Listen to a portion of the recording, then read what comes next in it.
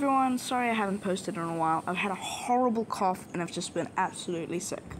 Anyway, I'm so happy to bring this video out. Niantic has given me the opportunity to show off two Pokemon that aren't even in the game yet. They are Black and White Kyurem.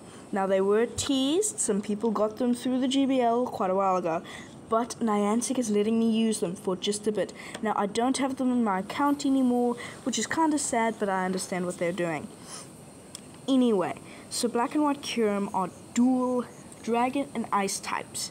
Now, I paired them up with a Skarmory and an Annihilape, and it did reasonably well in practice battles with people that knew what was happening. It wasn't crazy, but it wasn't good. They're very weird Pokemon, to be honest. The typing is not meta relevant anyway. They're not a great ice type, they're not a great dragon type. It's, to be honest, like, um, well, you'll see. But I am sorry I haven't posted in a while. And happy Easter! I hope you guys all had an amazing Easter, and I hope you all had a great, great weekend. Anyway, let's jump straight into the battles. I'll see you in there. April Fools.